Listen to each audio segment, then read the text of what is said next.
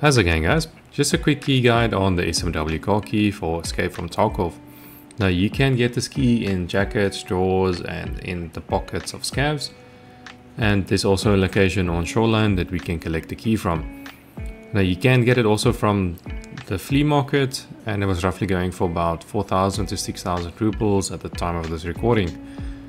Now for the location that we can get the key in, it's going to be by the construction yard close to the tunnel extraction at this location.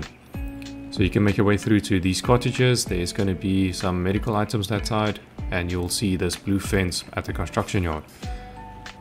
And the resort is going to be over there. Once you're at this location, just come down here and then you'll see there's going to be like a trash bins and the key is going to be on this metal box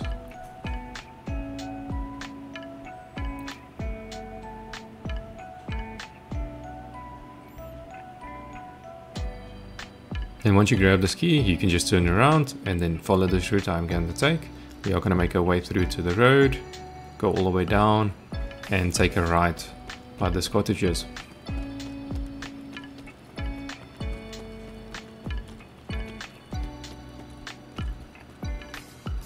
Now from here you can go all the way down again until the end of this fence where you are going to see a garage and on the right side there's going to be a gate you need to enter.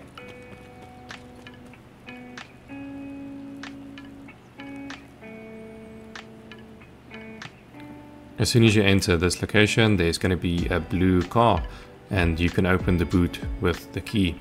There's normally going to be like revisions in the boot and maybe sometimes cash as well, but that's going to be it. Not really worth it. And that's going to be all for this key.